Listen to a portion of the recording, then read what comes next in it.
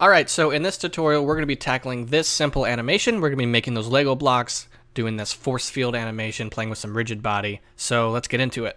Alright, so for those of you who are interested, I'm going to provide this blend file for you guys to download in Gumroad for $1. So if you can check out my settings, see what I'm doing in case you miss something or not understanding something, as well as this animation as well. Basically, kind of the same thing, but for a dollar, you're going to get both of these.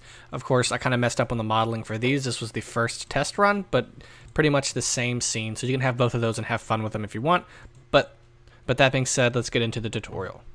All right, so first off, let's model this Lego piece. Now keep in mind, we're not going to be trying to get photorealism or even precise realism when making this Lego piece. What we're going to do is try to get it in the ballpark, try to get pretty close because these are going to be pretty small. So by doing that, we're going to eliminate having a lot of topology in our scene and it won't be super, super, super, super hefty and the animation will go smoothly rather than having a lot of topology, say like having 4 million faces in this scene and it'll be really heavy. So we're going to get it as close as we can, So, but we're not going to stress photorealism in this. So I'm going to hit tab, click the face selection here, hit X and click faces. And I'm going to go ahead, I'm hit shift A and apply the scale. And I'm going to add the solidify modifier. And I'm just going to bring it in right about, I'd say right about there. Now let's go ahead and add a cylinder. Scale it down this is going to be the little the little dots on the top. So I think about, of course, we're just eyeballing this. You can use the reference if you like, but I've played with Legos my whole life. I feel like I know kind of what I'm doing. So we're going to go right about here. Just to see how it's doing, we're going to duplicate it. Looks like it's too big. So we're just going to scale it down a little bit more and then duplicate it. Okay, that looks about right. So now we're going to use the array modifier. So we're going to take this, get an array, and we'll bring it to this side. And on count, hit 4. And then we'll just sort of space them out as we want. Kind of glitched on me there.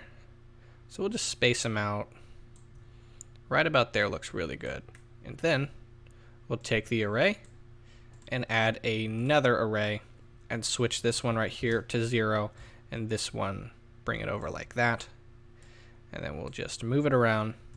Now we have the top part of our Lego piece. Now let's go to the bottom here and we're going to add three slightly larger cylinders. So let's go ahead and add the cylinder, scale it down, bring it here. We're going to try to eyeball this as well. So much too big. Right about there looks pretty good. It's going to fit right in there. Now, let's add, now, let's add an array and give it a count of three and then bring them this way until they fit in those slots. All right, now let's apply that. Let's take this, apply that, and take this and also apply both array modifiers. Now let's take these, select the bottom, hit X, and click faces, and we're going to add a solidify to those, and add some solidify to the bottom, just like that.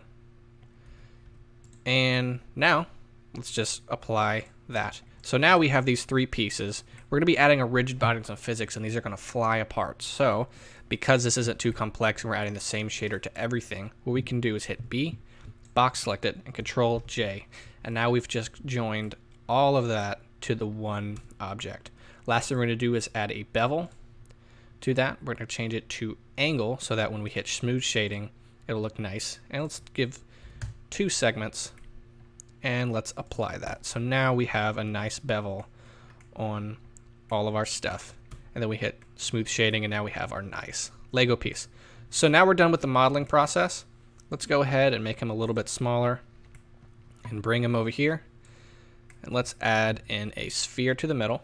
UV sphere, I'm gonna hit shade smooth. So if I hit play, of course nothing's gonna happen. We've done nothing to this scene. So let's go ahead and add our force field. So force field, we'll give it force. And right down here in the in the physics settings, we're going to give a strength of negative 1,000. And the reason why we're doing negative is it'll pull everything in rather than pushing it out. Now if I press, press play, still nothing happens. That's because we need to add a rigid body constraint. Now what rigid body does is it makes these collide rather than going right through each other like they normally would. So we'll click our brick here, rigid body, right here on source, right here on shape, click mesh, right this one here, click rigid body, and change shape to sphere. Now when we press play, it's going to do that. Now for this particular animation, I don't want the sphere to be moving around the way it is. So when we click on it, go back to our physics, uncheck dynamic, and when we press play, boom. It stays still, but it is still a rigid body object. So now what we're going to do is just add a shader. So we're going to go to look dev here and give it a golden shader, and that's super easy. So we'll just get make it metallic, and we'll take this and bring it down to the yellow, and now we have gold. What I like to do is just give it a little bit less roughness. Right about there, looks pretty good. And we'll add the same shader to the brick. So now let's just go ahead and duplicate this a whole bunch. Be careful not to duplicate it too much because then your your scene will be too heavy and your and your computer will crash. Now that I've duplicated everything, we have all this stuff. Now let's press play and see what happens. Now we have this really nice fluid animation. It looks really cool. But it's just going to stay there until my timeline ends. I want them to drop.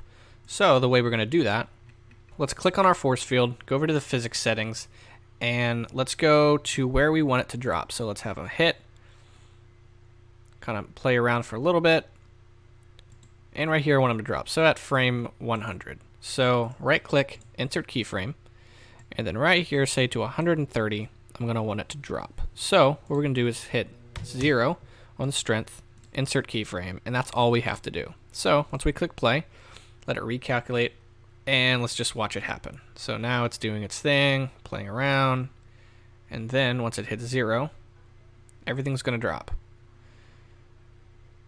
Just like that.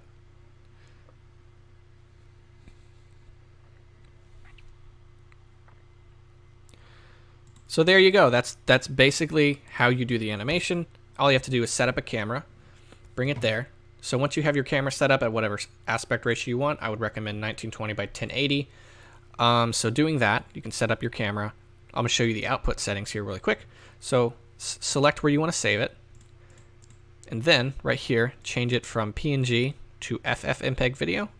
Right down here, from that to MP4, and then change it to, and then change it from medium quality to high quality and also video codec, make sure it is on H.264. So once you do that, you go up to render, render animation, and you're done. So there you go. I hope you enjoyed it. I hope you learned something. Go ahead and you can go check out the blend file if you haven't if you mess something up. And be sure to send me this stuff on Instagram. You can, my Instagram is linked in the description if you want to send me that. And thanks for watching.